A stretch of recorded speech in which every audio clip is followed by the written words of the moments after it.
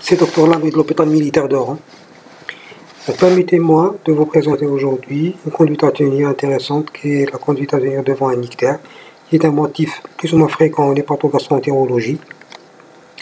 Donc il faudra savoir les, examens pertinents à demander devant un ictère afin d'étiqueter les différentes étiologies. L'ictère est un symptôme qui apparaît quand la bilirubine est augmentée dans le sang, qui va, qui va se prononcer cliniquement par une pigmentation jaunâtre des tegments, des interconjonctifs. On va aboutir au métabolisme de la bilirubine, donc on a trois stades qu'il faudra bien les détailler. Donc euh, la production de la bilirubine, la conjugaison au niveau hépatique de cette bilirubine et l'excrétion et enfin l'excrétion de la bilirubine. La production de la bilirubine vient principalement plasmatique suite à la destruction des globules rouges vieillis euh, par un syndrome macrophagique au niveau, au niveau de la rate. 20% euh, de, cette bilirubine vient de la destruction, de la destruction pardon, des, cellules, euh, des cellules précurseurs de l'âme au niveau de la moelle osseuse non érythropoïétique vient des myoglobines et des cytochromes euh, suite à la distribution de ces distributions euh, au niveau du foie et des autres tissus. Cette bilirubine, cette bilirubine au niveau, au niveau sanguin, c'est la bilirubine non conjuguée qui est, qui est liposoluble et insoluble dans l'eau. Ensuite, on passe au transport et à la conjugaison de cette bilirubine non conjuguée. Donc, une fois, une fois dans le plasma, dans le sang, cette bilirubine va, va être rattachée à l'albumine qui est un transporteur de cette bilirubine dans le sang.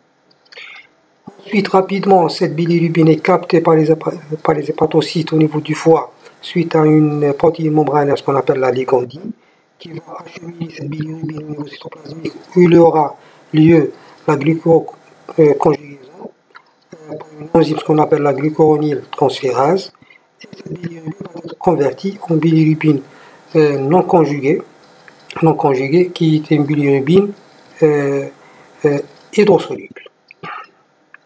Ensuite, l'excrétion de cette bilirubine conjuguée va être, va être excrétée dans la bile, dans les intestins.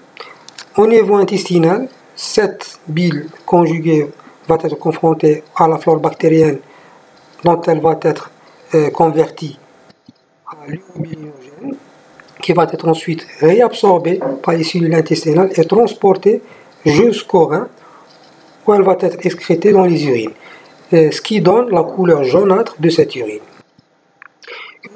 Une va être convertie par la flore bactérienne en stercobilinogène qui est excrété dans, dans, les selles et ce qui donne la couleur jaune brunâtre euh, selles.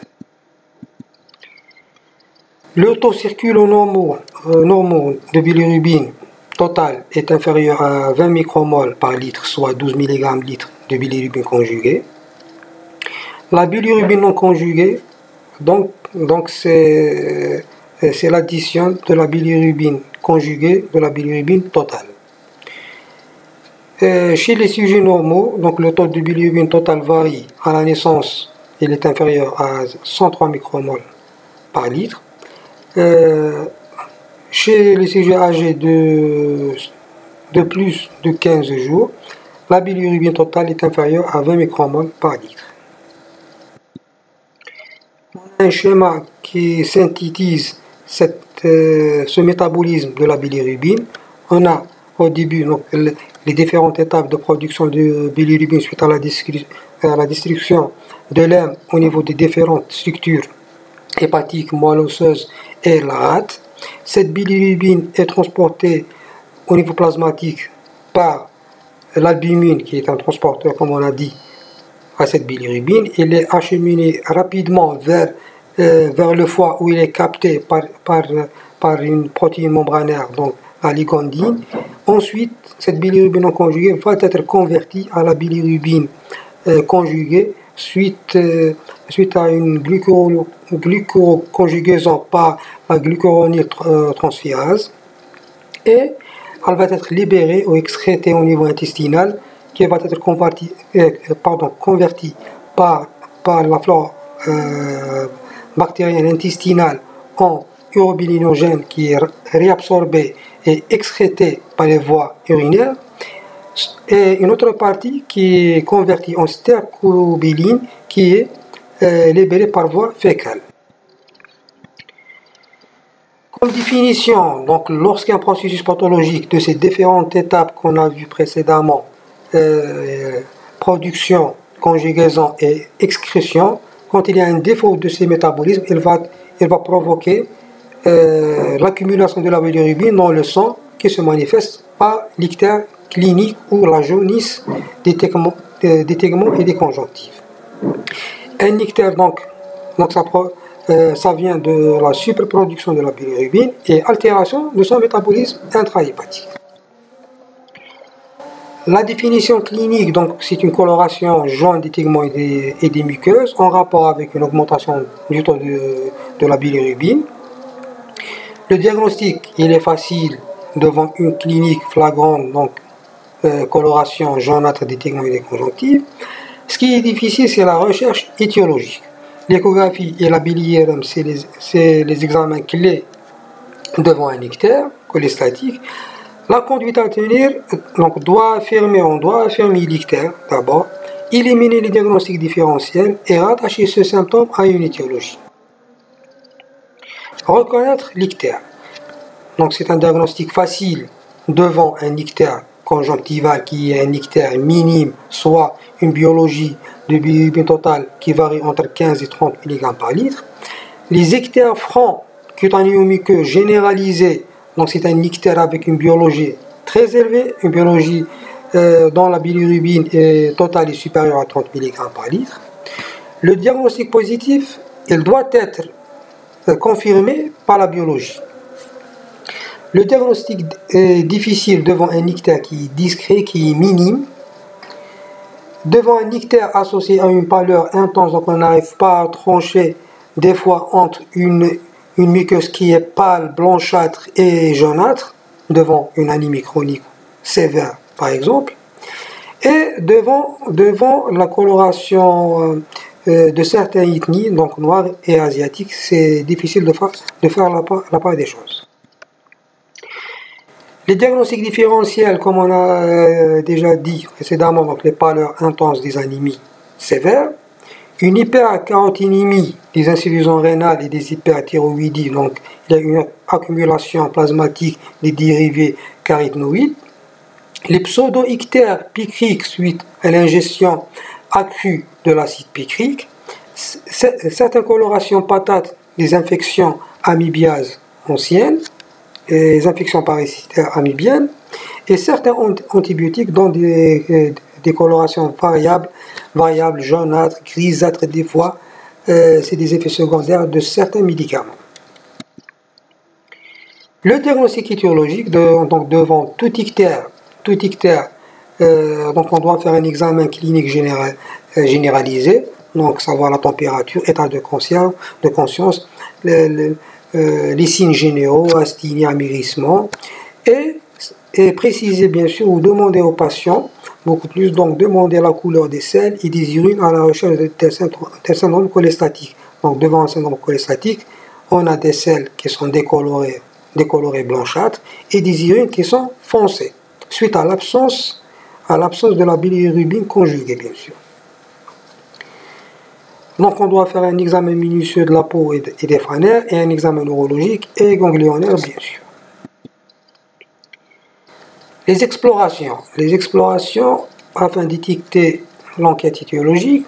Donc en première intention, donc on a un bilan de première intention, il faut faire une formule, un taux de réticulocytes, un bilan hépatique complet bien sûr, une glycémie, bilan rénal, un ASP et surtout l'examen clé et de référence en première intention, c'est l'échographie abdominale à la recherche d'une dysmorphie hépatique, d'une dilatation du voie biliaire par exemple, et on, peut même on peut même avoir euh, euh, voir un obstacle lithiasique, par exemple, au niveau des, voies biliaires. Deuxième intention, donc euh, sur le plan biologique, donc devant une bilirubine conjuguée ou un ictère bilirubine conjugué, une sérologie virale est demandée, bilan cuprique, bilan martial, bilan d'auto-immunité, euh, tout un bilan d'une hépatite, d'une hépatopathie chronique. Devant un ictère bilirubine non conjugué, il faut rechercher tout ce qui est pathologie hématologique. Euh, euh, donc, devant une pathologie hématologique produisant une, une hyperhémolyse, à savoir, donc, il faudra faire une, une électrophorèse, des protéines, euh, de, l'hémoglobine, un midullogramme, test de Coops et euh, dosage des enzymes érythrocytaires. La morphologie en deuxième intention, on doit faire une, fibroscopie haute, une endoscopie haute à la recherche d'un syndrome d'HTP, euh, faire une échondoscopie, scan, un scan, une TDM, une biliaire, une CPRE, ou la cholangio pancréatictomie rétrograde endoscopique, un TCTH, un drainage euh, radiologique, selon, selon l'étiologie étiquetée. Un, PBH, une biopsie, euh, une ponction biopsie euh, du foie, c'est l'examen de dernier lieu si on n'a pas si on n'a pas une étiologie bien précise, hépatique, on a tous les examens qu'on a, qu'on a déjà décrits, qui, sont négatives, on n'arrive pas à trouver une étiologie, on passe à la PBH afin euh, d'approfondir l'enquête étiologique. La paroscopie, c'est rarement réalisé afin de détecter une étiologie devant, devant un hectare, mais c'est réalisé dans de rares cas. Classification, donc les hectares se, se, différencient euh, en deux grandes lignes, donc l'ictère bilirubine non conjugué, non conjugué pardon, dû à un déficit génétique de l'enzyme euh, conjuguant la bilirubine ou la glucuronyltransférase et les hyperhémolyses. Ce sont des ictères avec des urines et des sels normocolorés. Les ictères à bilirubine conjugués, donc sont liés à une hépatopathie, sont dilatation de la voie biliaire principale, toute hépatopathie chronique, un, obstacle sur la voie biliaire principale avec dilatation en amont de celle-ci à savoir l'hydratation des voies biliaires intra- et extra-hépatiques suite à un obstacle bas situé, par exemple un cancer de la tête ou pancréas. Ce sont des ictères par contre avec des selles foncées et des selles décolorées. On va entamer le grand chapitre des étiologies, à savoir les, les ictères à bilirubine non conjugués. La physiopathologie, donc l'hémolyse pathologique ou l'hyperhémolyse, va créer une libération anormale d'hémoglobine qui va saturer euh, le, rôle, le rôle de conjugaison hépatique. Donc le foie va être dépassé et avoir, un ictère à bilirubine euh, libre ou à bilirubine non conjuguée. Donc la bilirubine non, conjuguée va être va pas être convertie en bilirubine conjuguée, elle va s'accumuler et faire un retour vers, vers le sang. Donc, donc, donc il va y avoir une hyperbilirubinémie non conjuguée. Les étiologies, les étiologies, on a les infections constitutionnelles. Euh, premièrement, donc les malformations des globules rouges, on a les, anis, les anisocytoses. Donc c'est un défaut ou une pathologie de, de, démention des globules rouges, soit de, de petite taille, on appelle la microcytose, de grande taille, c'est la, la, macrocytose.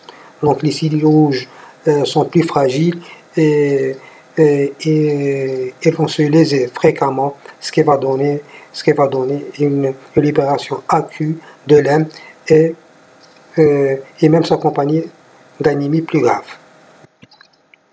Les les globules rouges sont, sont sphériques, donc euh, c'est une pathologie héréditaire ou la euh, sphérocytose héréditaire, ce qu'on appelle la maladie, la maladie de Minkowski-Chauffard.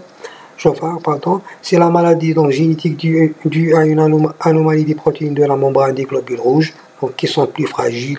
Ils vont, euh, ils vont être euh, détruites et libérer beaucoup plus d'hémoglobine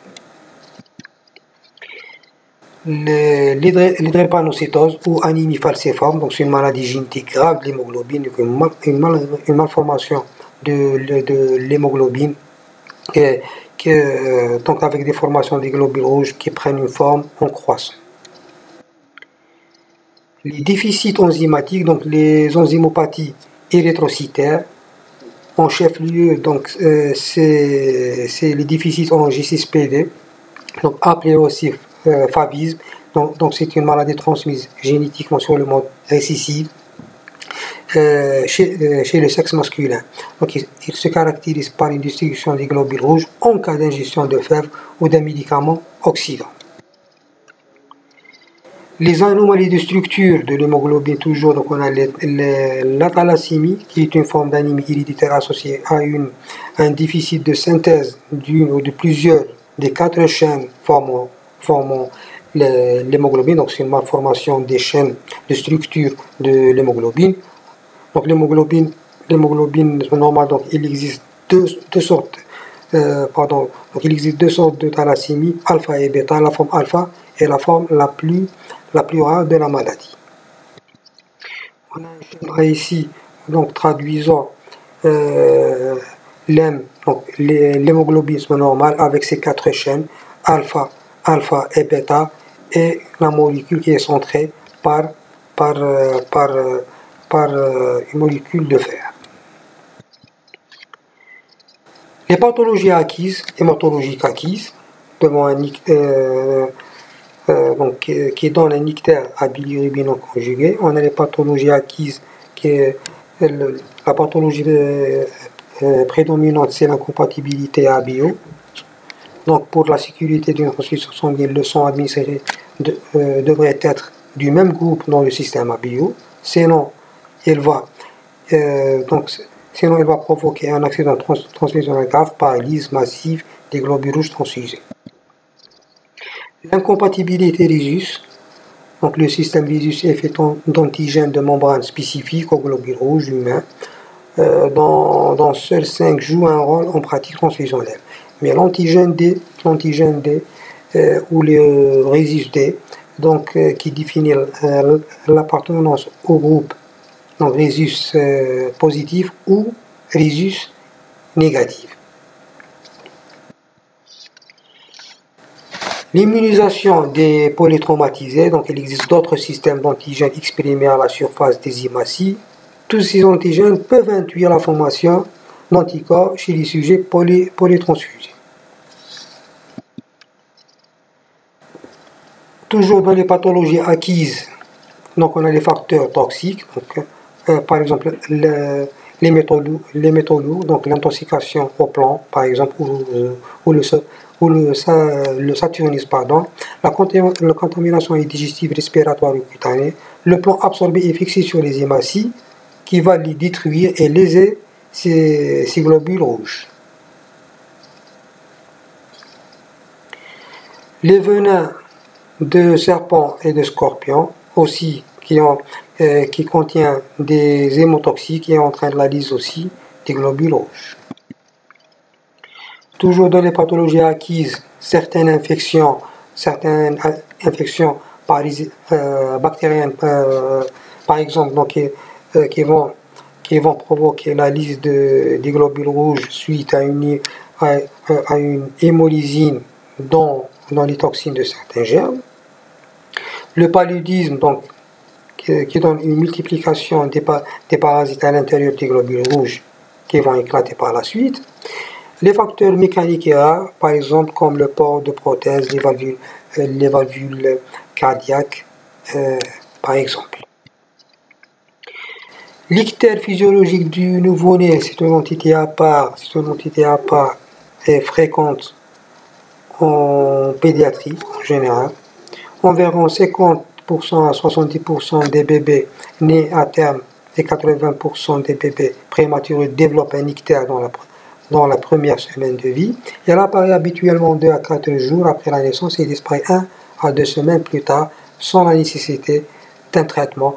Donc c'est la, la résultante euh, d'un foie qui est, qui est immature dans les premiers jours de vie ou non fonctionnel dans les premiers jours, jours de vie. Donc la fonction de conjugaison de la bilirubine hépatique dans les, dans les premiers jours, dans quelques cas bien sûr, elle est non fonctionnelle qui va aboutir à cet hectare du nouveau-né.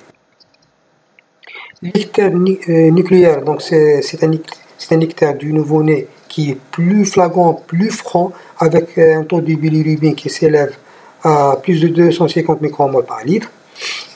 Et la crainte, la crainte que cette bilirubine, les possibles bien sûr, va se fixer au niveau des noyaux gris centraux et donner des lésions euh, cérébraux avec des signes neurologiques. Les déficits hépatiques, donc on passe, donc on passe euh, euh, au déficit enzymatique hépatique, donc déficit en glucoroniotransférase. En premier, on a la maladie de Gilbert, donc on a un déficit partiel partielle de, cette, de cette enzyme. Donc cette affection est héréditaire fréquente 2 à 4, à 4%. Euh, et, euh, donc pas de signe d'atteinte hépatique avec une capacité de conjugaison de la bilirubine faible. Donc, il est, donc cet ictère est engendré suite à un stress, un état infectieux, euh, pardon, infectieux, le jeûne, l'excès de fatigue physique, de sport, etc. Et elle va se régresser spontanément par la suite.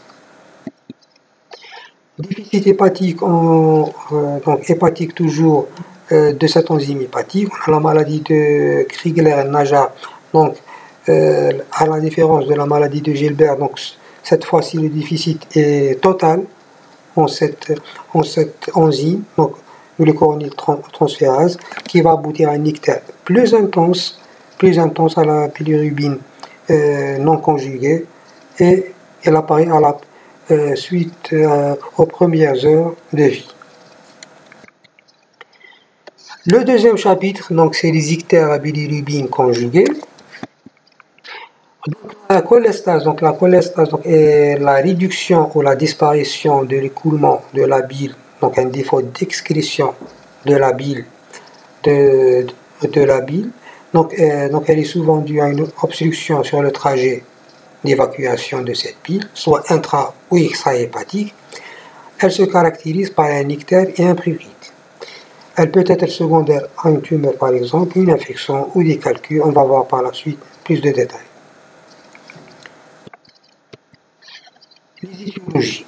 On a les étiologies ou les pathologies extra-hépatiques. Extra-hépatiques, par exemple, on a les compressions extrinsèques et Les compressions extrinsèques, on a les néoplasies, tous les cancers de la tête, du pancréas, tumeurs de voisinage, donc tumeurs avoisinant euh, le foie, ou les adénopathies tumorales. Non néoplasiques, toute pancréatite chronique, par exemple, euh, une augmentation de taille euh, du pancréas va, va se engendrer une compression des voies biliaires extra-hépatiques et aboutir à un ictère cholestatique donc tout ce qui est pancréatique, pancréatite chronique, soit compression par augmentation de volume ou par, par, le, par les pancréatiques euh, euh, qui vont comprimer les voies biliaires extra-hépatiques. Atteinte partielle des voies biliaires extra-hépatiques, donc néoplasique dominé par les cancers de l'ampoule de Vater et les cholangiocarcinomes, soit les cancers euh, du inflammatoire, la cholangite sclérosante primitive ou secondaire. Les obstacles intraluminales, intraluminales euh, c'est la cause lithiatique la voie biliaire principale, extra-hépatique. Parasitaire, c'est rare, mais, mais ça existe quand même. Donc, c'est comme, comme les infections à Ascaris, les douves et l'étatitose. Les étiologies intrahépatiques, donc on a les ictères associés à un dysfonctionnement, euh, dysfonctionnement hépatique, les hépatites virales, toutes hépatites virales, euh, alcooliques, médicamenteuses, les ischémies hépatiques, l'obstruction aiguë, aiguë des, des veines hépatiques, ce qu'on appelle la maladie de Budd-Chiari, par cholestase intrahépatique euh, prédominante, donc il faudra se rechercher toute hépatite ou hépatopathie cholestatique, pardon. Lésions dictulaires, donc lésions des petits canaux euh, biliaires, comme la, la CSP, la cholangite sclérosante primitive, ou la cirrhose biliaire primitive, et certains, certains médicaments comme l'érythromycine qui vont, qui vont donner des lésions des, des petits canaux biliaires et la réaction du greffe ou le rejet de greffe. Les tumeurs, donc tous les tumeurs hépatiques, soit primitives ou secondaires, peuvent provoquer par compression intrahépatique un ictère cholestatique. L'infiltration hépatique, toutes les, toutes infiltrations euh, néoplasiques ou inflammatoires ou autres comme les granulomatoses, tuberculosaccharidoses, les amyloses et les néoplasies. Les infections, certaines infections donnent euh, une, septicémie, donc une infection plus grave qui va libérer des, des endotoxines bactériennes au niveau plasmatique qui vont faire euh, la, destruction des cellules euh, hépatiques et vont produire, donc elles vont provoquer un ictère à bilirubine conjuguée. Les cholestases constitutionnelles comme la maladie de, du Johnson et la maladie de, de qui sont, qui sont des, euh, des maladies très rares. Autres causes, comme, peuvent exister comme le syndrome paranéoplasique, les, les sérotiques, au cours de la grossesse comme les stéatoses aiguës gravitiques et la cholestase gravitique euh, récidivante et les post-opérés et les infections à VIH. Donc l'ictère est un signe cardinal d'une maladie euh, hépatobiliaire congénitale ou acquise, mais également aux, aux hémopathies comme on a vu précédemment. Euh, son diagnostic positif est facile, cependant le diagnostic étiologique nécessite une approche euh, systématique et, et une sélection des investigations spécialisées. Et je vous remercie.